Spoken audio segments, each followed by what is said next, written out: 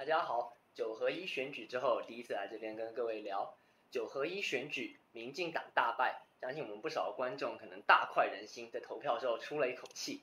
那投完票之后，我们的民进党政府对于这次败选做出怎么样的回应了呢？上个星期的时候，行政院长赖清德召开了一个检讨记者会，推出了一份检讨报告。在报告里面，他虽然表示对于败选啊难辞其咎。可是很诡异的是，一方面讲难辞其咎，另外一方面，我们看看那篇败选的检讨报告面，却通篇都在检讨错都是别人的，好像都不是民进党政府本身的，听起来很奇怪，怎么回事呢？那我来帮跟各位解释一下。首先在观光业的部分，赖清德的新检讨报告面，他说大中国大陆用减少大陆观光客作为抵制台湾的手段，造成部分观光业者生意下滑。他他的报告面还说，虽然说新增加的客源，也就是蔡政府力推的新南向十八国，包括东南亚十个国家，还有南亚、印度等等国家，他说新增加客源就是新南向十八国，弥补了观光客总数。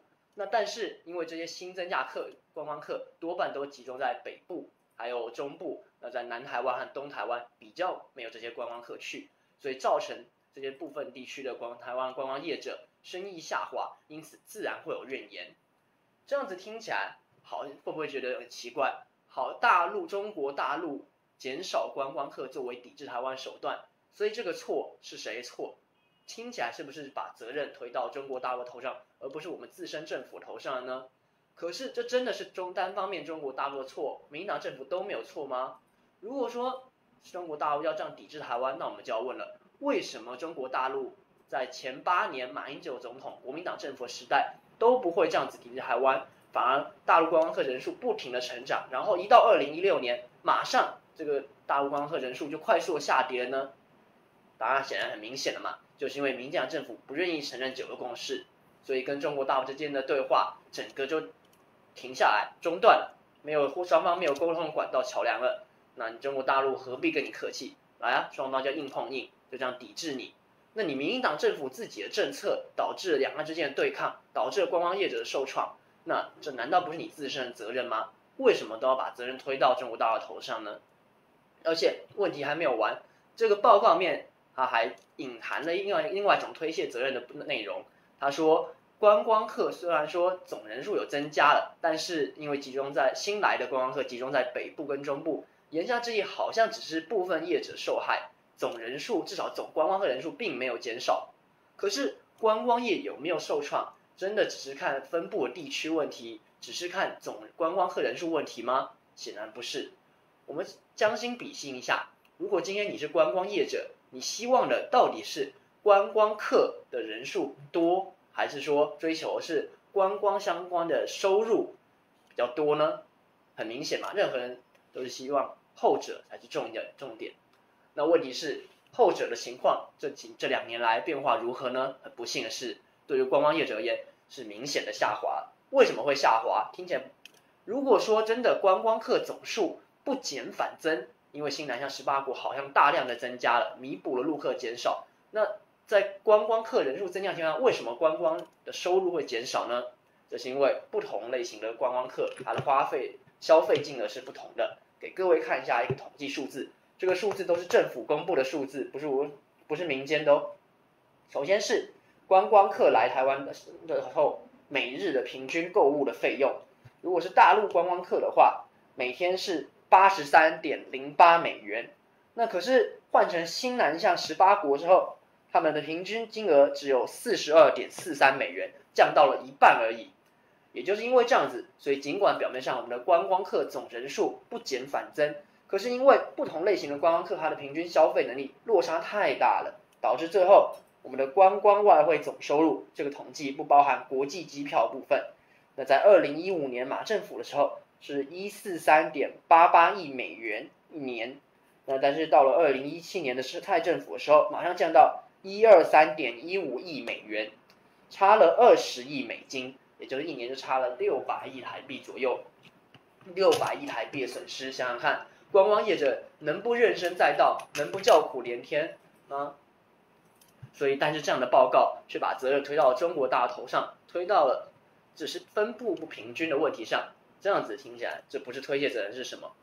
而且还没有完，我们这份报告面，艾清德院长还说，政府在推动劳基法改革、年金改革，还有转型正义、司法改革等等的改革时，改革的用心虽然深获民众的肯定，但是民大部分民众在不了解改革的实质内容上，多有误解，尤其在假讯息的攻击之下。导致改革产生的只有负面的效应，没有产生原本的正面效应。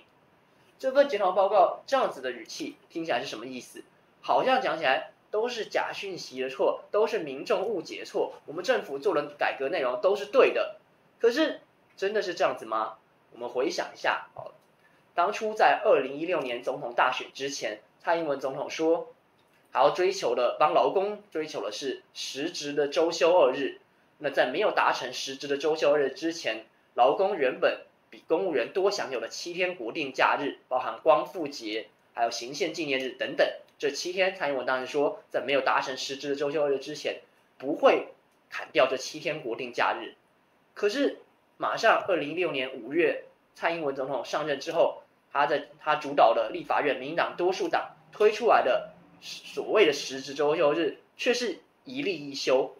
也就是可以加班的休息日，加上不能加班的例例假日，这样子真的叫做实质的周休日吗？蔡英文总统有没有统计过，在他推出来这样的政策之后，多少的劳工朋友照样还是要一个礼拜工作六天，根本就没有周休二日？那你这样子的东西，你推出来之后，有达成你原本的主张了吗？没有。可是蔡英文总统却还是让他的民进党多数党在立法院把那七天国定假日砍掉。那因为你这样子说话不算话，所以劳工对于你的砍七天国假，对于你的劳基法改革怨声载道。请问这样子是假讯受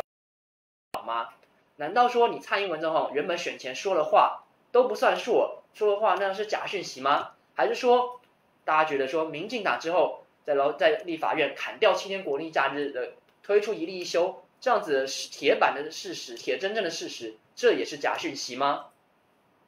那？我们再看其他改革哈，所谓的改革啊，那当然在年金改革上面，民进党政府确实选前扬言要改，然后他也确实是改了。可是我们就要问啦，当我们的军工教朋友们因为自己的年金被砍了，因为政府这样子说话不算话，砍掉了原本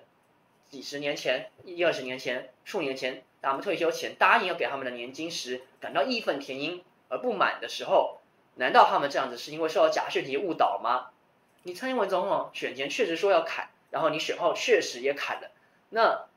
被砍的军工教朋友，难道他们没有被砍吗？他们真的被砍了，他们因为这样子，而因为你的这这样子的名为改革的作为而不满，到底哪一点是受到假讯息误导了？那蔡英文总统要不要拿出那些认举出一位军工教朋友的那个存折，证明说，哎，他其实没有被砍，可是他却跳出来骂政府？那如果有这样的人，好，你可以说他是被假讯息误导，可以说他是造谣生事。如果没有，那只怕你这政府这样子的说法，才在做传传递假讯息、传递假新闻吧？那我们再来看看他说了什么转型正义改革哈，他也说是民众可能因为不了解而有所误解，而造成负面效应。那可是我们就要问啦，当党产会一再的无视法院的判决，法院明明就说你这些处分，你的党产条例有违宪的疑虑，要申请大法官解释，可是结果你党产会照样。无视于法官的，无视于法院的那个裁定，不停的做出新的处分的话，我们就要问：难道党产会这样子的无视于法院的作为，这样也是假讯息、假新闻？其实党产会并没有这样吗？那你的促转会自己，你当初你的副主委扬言自比为东厂，扬言说要在选举里面对针对侯友谊的事情来操作一下时，这些事情难道是假的吗？难道是假讯息吗？这些铁真正的事情。我们的行政院的检讨报告面却通通说成是假讯息误导，是民众不了解这样子的说法，跟我们的蔡英文总统在败选之后他说：“哎，我忘记了在推动进步的改革之后的时候，同时没有注意到民众的观念没有跟上来，名为在检讨，可是却把责任推到了一般我们老百姓头上。那这样子的检讨说是检讨，其实结果把错都推到别人头上，根本就是在推卸责任。”如果用这样子的推卸责任态度，民进党不只是今年会输，相信在两年之后总的总统大选也不会有什么太好的下场。而且不只是这个检讨报告有这样子的问题，其实在其他方面，我们也可以看到民进党类似不知道反省的态度。我们的高雄这次选情最火热的地区，在国民党的韩国瑜候选人当选了之后，韩国瑜示出了善意，他表示说他愿意跨党派与其他县市合作，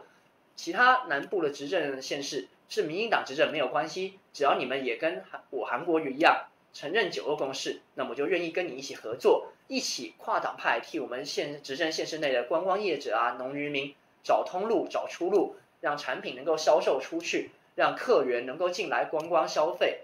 当然，主要就是针对中国大陆这一块要互相做生意、要合作。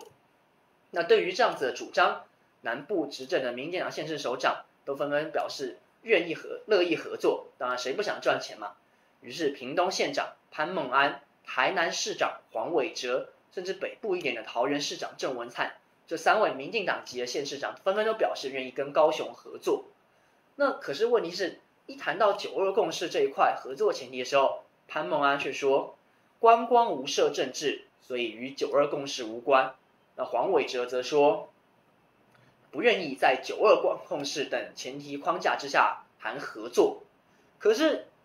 问题来了，真的不需要吗？我们回想一下刚刚提到了。为什么民进党政府一执政，马上大陆观光客就快速锐减？马政府国民党时代就不会发生这样的事情呢？很明显的，不，第一个不可能是因为天灾。请问，二零一六年到二零一八年这两年之间发生了什么超级重大天灾，让台湾让导致外面的观光客都不愿意来台湾呢？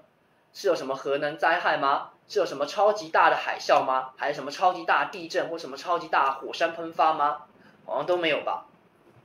所以第一个不可能是天灾，只可能是人祸。那第二是怎么样的人祸？是哪是哪样的人造成的人祸呢？如果你说是因为观光业者的服务品质有问题导致人祸，这话也不太对吧？难道我们观光业者的品质在二零一六年之前本来都非常的好，甚至不断的进步，可以导致我们当时观光客人数、大陆观光客人数不断的增加？可是，一到了二零一六年，马上。瞬间就下滑，就变得超烂，导致我们的大陆观光客都不来吗？也不太可能嘛。而且你说，如果是因为我们观光业者品质的问题造成的话，那为什么我们的政府还可以得意洋洋的宣称，至少新南向十八国的观光客人数还在不停的增长，甚至导致总观光人数有所增加呢？所以可见，这样子的人祸不是因为观光业者本身的服务品质问题造成的。那唯一的可能，这样的人祸当然就是政府。政策的问题，我们的新政府，民进党政府，在二零一六年上来之后，因为不愿意承认九二共识，跟中国大陆全面的对抗，那导致中国大陆客就如我们政府说了，用减少陆客作为抵制的一个手段，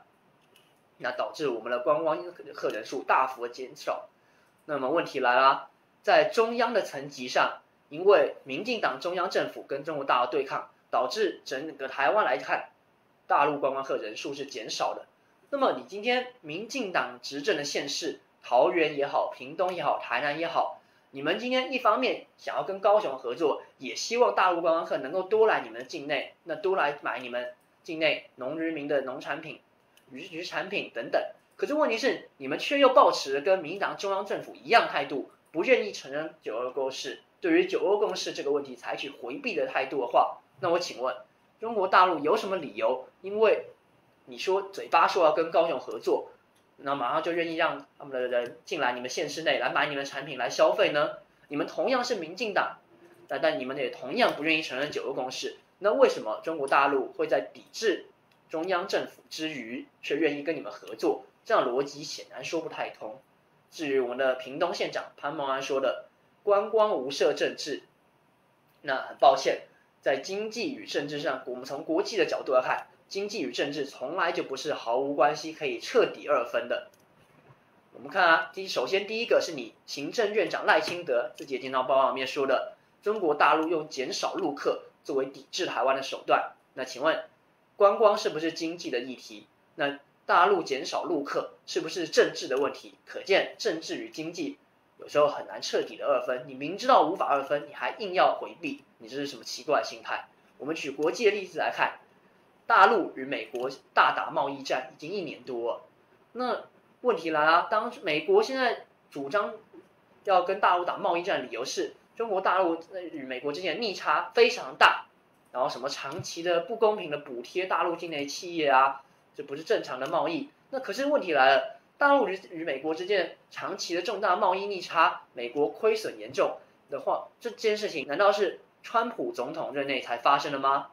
是川普从二零一七年一月上台以来才发生的吗？当然不是，长期以来就是如此。那为什么奥巴马总统任内没有这样子大跟中国大大打贸易战，打得这么夸张？那到川普任内他忽然打呢？可见这是政治决定了经济，这是政治影响了经济。因为川普总统他个人的政治的心态，他的政治意识形态，他觉得这样对他有利，对他选凝聚他的基本支持、基本盘支持者。凝聚那些摇摆州支持者有利，所以他决定在任内忽然就开始打贸易战，